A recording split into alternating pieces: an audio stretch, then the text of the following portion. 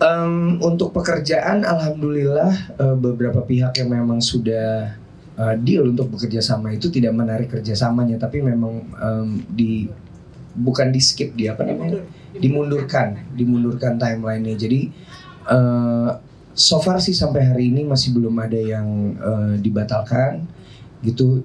Tapi kalau untuk keluarga yang memang saya yang jelas selain menitipkan ke Allah juga menitipkan ke My Music. Jadi em, alhamdulillah semuanya berjalan dengan baik gitu. Semuanya terjaga. Walaupun entah bagaimana caranya tapi semua terjaga sampai hari ini.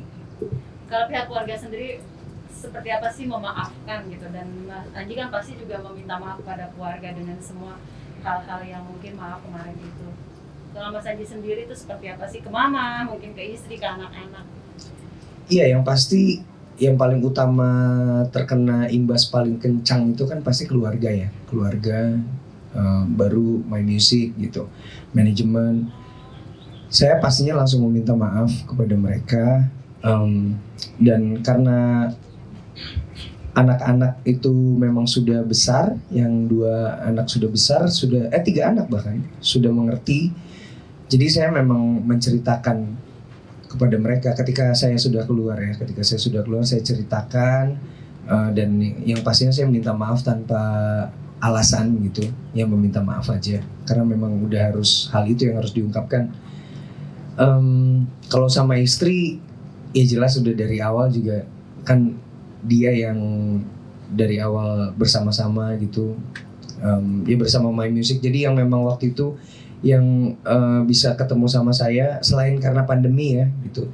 Waktu itu memang cuma istri, kakak saya, manajer dan ya keluarga My Music.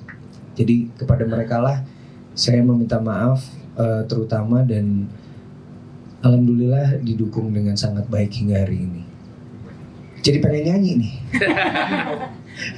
Banyak. Apa? Oh jangan jangan ya. jangan.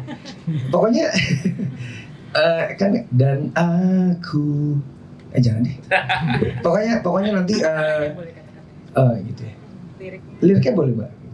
Pokoknya em, yang jelas di titik kemarin ini saya menyadari bahwa em, Penyesalannya. saya ia menyesal dan saya tuh kemarinan itu saya berpikir bahwa hidup ini ya tentang saya aja gitu agak egois memang Selama ini selama ini ya selama beberapa waktu belakangan saya lupa bahwa em, hidup saya ini bukan cuma punya saya sendiri tapi juga punya punya istri punya keluarga punya manajemen punya masyarakat juga gitu jadi itu yang mau saya ungkapkan sih gitu bahwa saya menyesal karena kemarinan saya terlalu egois memikirkan diri saya sendiri gitu.